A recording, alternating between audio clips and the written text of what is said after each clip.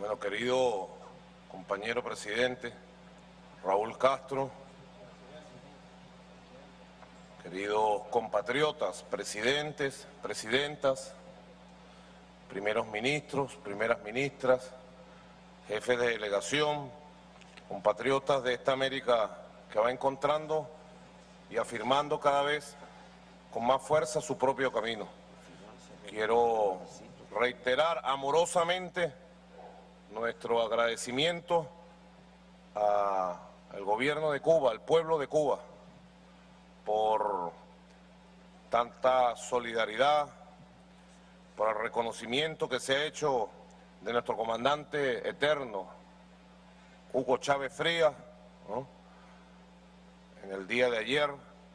Quiero agradecer a todos los gobiernos hermanos del continente por las expresiones amorosas y generosas sobre el papel que cumplió nuestro comandante Hugo Chávez en la construcción de estos caminos de la Nueva América.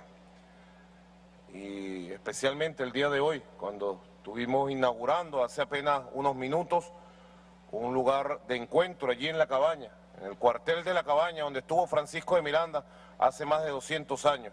Un lugar, un lugar de encuentro con el pensamiento, la imagen, la obra y el legado del comandante Hugo Chávez. Quiero igualmente reiterar la emoción que embarga a la delegación de la República Bolivariana de Venezuela por la realización de esta cumbre histórica aquí en Cuba. La Cuba, queremos entregar un saludo especial al comandante Fidel Castro Ruz, sin lugar a dudas un gigante de la dignidad de la América Latina, del Caribe, de los pueblos del sur, Fidel Castro Ruz, la tierra de Martí, verdaderamente. Hoy decíamos de nuestro comandante Hugo Chávez, el más grande bolivariano que se haya conocido en el último siglo, sin lugar a dudas. Y tendríamos que decir de Fidel también, el más grande martiano desde la generación del centenario, rescató el proyecto de Martí, que a su vez es decir, el proyecto de los libertadores, el proyecto de Bolívar, el proyecto profundo y largo que se perdió entre los caminos en el siglo XIX, en el siglo XX. Siglo XIX que fue el siglo de despertar, por allá Quito, 1809, Caracas, Buenos Aires, Bogotá, 1810. Desde allá viene este camino de búsquedas, de la unión, del desarrollo conjunto, de la identidad nuestra americana, como le llamara el apóstol José Martí, desde 1809 1810, fuimos primero Ejército Libertador Unido, por allá por Sudamérica. Juntos estuvieron San Martín, O'Higgins, Bolívar, Sucre, batallando en los campos del Perú, del Alto Perú después, nuestra hermana Bolivia. De allá vienen los caminos de la unión, de la búsqueda conjunto y fue una generación virtuosa verdaderamente, la generación de fundadores de la América entonces, que se liberaba del imperio español. El siglo XIX pudo haber sido el siglo del inicio de la unión. Seguramente la historia sería otra para nuestro continente y para la humanidad si los fundadores hubieran sido leales al sueño y a la causa de los líderes de la primera independencia, de la primera época de independencia. Pero no fue así. El siglo XIX terminó siendo un siglo de división y de donde debió haber nacido una gran unión de repúblicas, nacieron 10, 15, 20 repúblicas. El siglo XX nos encontró divididos y fue un siglo de dominación, de dictaduras, de saqueo económico, de desvarío del camino. No por casualidad es el siglo XX, el siglo de la acumulación de la pobreza, las necesidades, la miseria. El siglo de la personificación del subdesarrollo como expresión de la realidad de todos los pueblos aquí representados, de todos los gobiernos aquí representados. Por eso creo que debemos valorar cada vez más, queridos compatriotas, debemos valorar en su justa dimensión la importancia histórica de encontrarnos aquí en este punto del camino.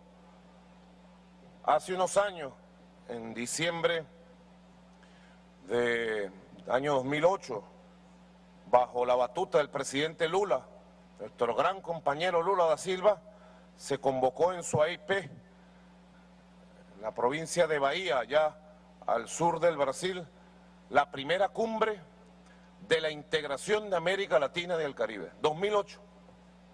170, 180 años después de las primeras jornadas de lucha por la independencia, 160 años después de la convocatoria magistral histórica marcadora del Congreso de Panamá por parte de nuestro libertador Simón Bolívar en 1826.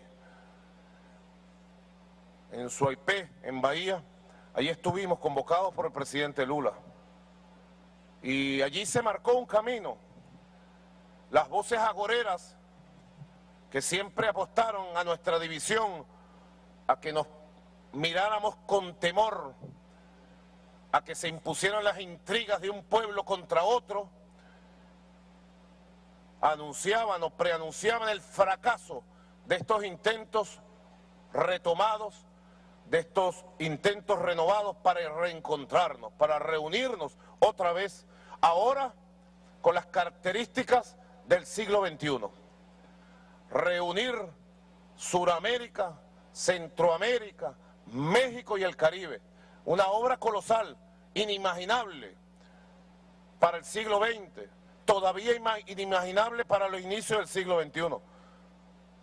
Y se marcó un rumbo con mucha fuerza y se empezó a tomar el patrimonio acumulado del Grupo de Río, y de todas las agrupaciones que se fueron creando a finales del siglo XX y se dio el primer paso. Y luego nos vimos en Cancún, 20 de febrero, si mal no recuerdo, del año 2010. Y allí bajo la batuta del presidente Felipe Calderón, veamos ustedes, veamos compatriotas, Lula da Silva, sin lugar a dudas líder de la nueva izquierda, del resurgir de los movimientos populares, obreros de la América del Sur y de la América Latina. Felipe Calderón, líder de una agrupación de centro derecha de nuestra querida y amada México.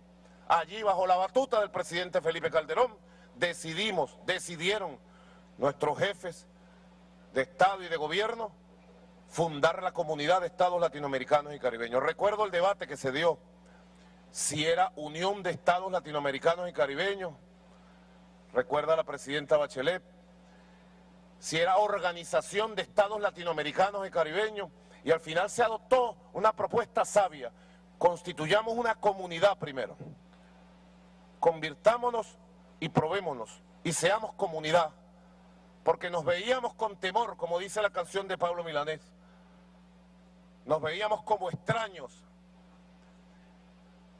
del Caribe, de Sudamérica, nos veíamos como que era imposible, pues. Era imposible, eran los temores de los viejos coloniajes que todavía se expresaban. Y se decidió crear la comunidad de estados latinoamericanos y caribeños. Decisión histórica. Y luego nos encontramos allá en Caracas, 2 y 3 de diciembre del año 2011, inolvidable, en la batuta un líder revolucionario, sin lugar a dudas, socialista del siglo XXI, el comandante Hugo Chávez. Y bajo la batuta del comandante Chávez, dimos el paso en la cumbre fundacional de esta comunidad de estados latinoamericanos y caribeños. Luego nos tocó hace un año exactamente, bajo la batuta del presidente Sebastián Piñera, a quien quiero agradecer de manera especial, ya él se encuentra hoy de partida, y quiero agradecer de manera especial por todos los esfuerzos que hizo para consolidar este camino de la comunidad de Estados latinoamericanos. Extraordinario esfuerzo del presidente Piñera, de su canciller Alfredo Moreno, y Chile nos presidió con dignidad, con decoro y con verdadero espíritu unitario. Ahí se demostró que es posible la unidad en la diversidad. América está demostrando que es posible transitar su propio camino, con respeto, con respeto, escuchándonos, aprendiendo, reaprendiendo en base a las posturas ideológicas, políticas firmes, claras, que cada quien defiende. Así que este camino, ayer nosotros revisando las reflexiones del debate que se dio en privado, recordábamos y pido permiso a la presidencia para traer un pensamiento, una reflexión del comandante Hugo Chávez cuando instaló aquella cumbre histórica de Caracas. Decía el comandante Chávez, perdón, en su carta a Santiago de Chile decía, la CELAT tiene que ser un espacio sólido para la realización de la gran política. Subrayaba la gran política. La gran política supone un aprendizaje permanente. Es aprender a convivir con nuestras diferencias, aceptarlas y procesarlas, buscando siempre la mejor manera de complementarnos. La gran política impide que la intriga nos divida,